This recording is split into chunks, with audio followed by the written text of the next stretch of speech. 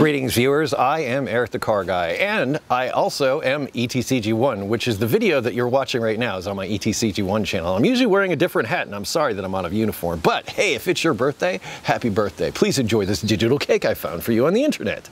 In the past, I've done videos about companies that I've done business with where uh, the product didn't necessarily work out or the service wasn't good, that kind of thing. And I put that out there sort of as a, a PSI kind of thing for you, just to put it out there and say, hey, look, you know, I've, I've had these issues with this company.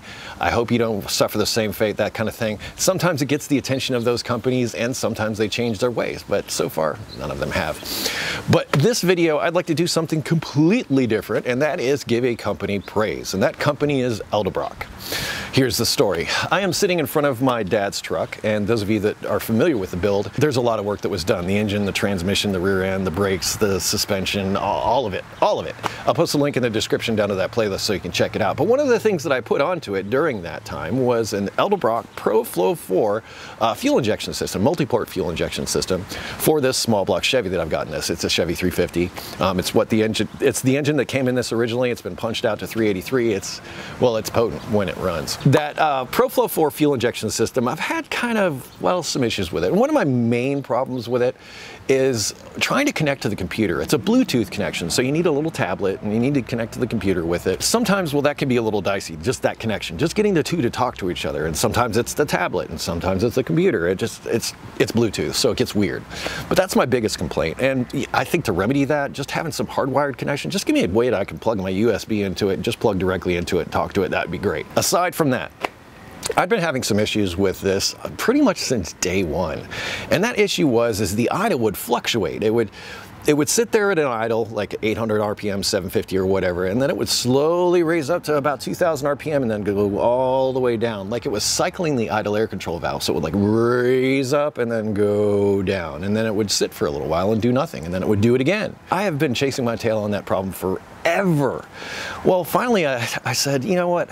Let's take a look at the RPM signal. So I looked at the signal coming out of the distributor and it's a Hall effect sensor and it should have a nice square waveform.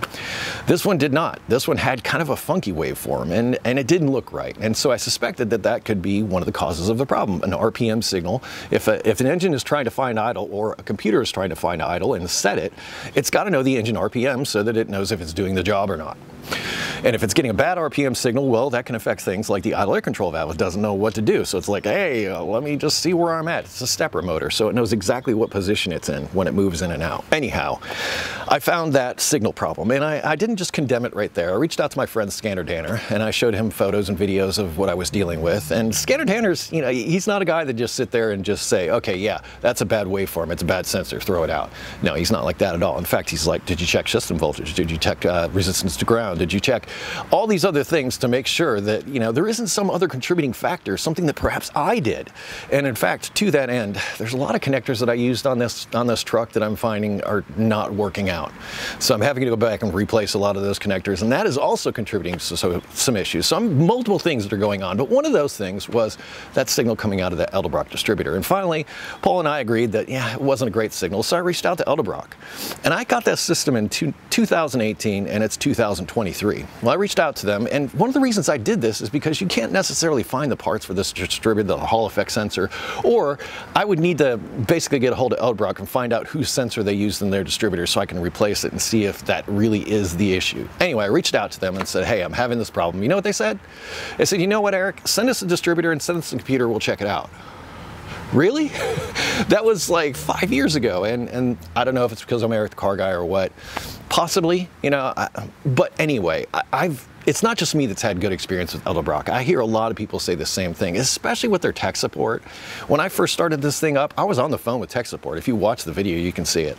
And they were extremely helpful to try to get me up and running again.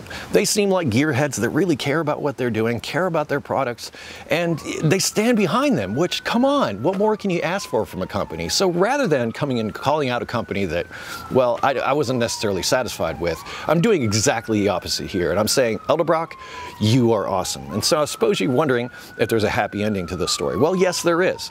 I did replace that distributor. They sent me a new one and they sent me a new computer and I got it all together and I got it running. And one of the things that I did notice and one of the things that was kind of cluing me into the problem to start with is when I set base timing.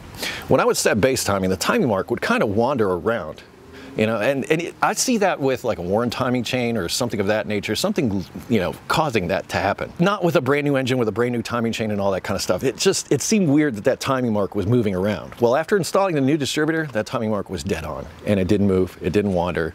And I was able to, after a while, it did do a couple of idle air control valve cycles, you know, it cycled in and out or whatever, but I was finally able to get it to a nice 750 RPM, nice and smooth, no idles moving around or anything like that. So I believe the distributor was the issue, but Edelbrock took care of it like long after warranty. And they didn't have to do that. And I appreciate that. And it's not just because they did that for me, just in general. Anytime I've ever dealt with them, they've always been eager to help. And they seem like gearheads themselves.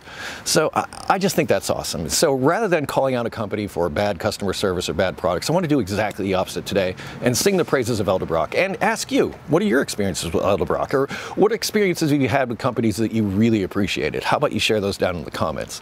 Thank you so much for watching today. And thank you, Edelbrock, for being awesome. Thank you, thank you, thank you. If you have automotive questions, Eric the Car, ericthecarguy.com is always there for you. Um, there's links to that down in the description along with additional information, additional videos and stuff. So check the description. There's always more stuff, more stuff. Thank you for your time today. Be safe, have fun, stay dirty. I will see you next time. Like I said, it's running great. That's a cooling fan.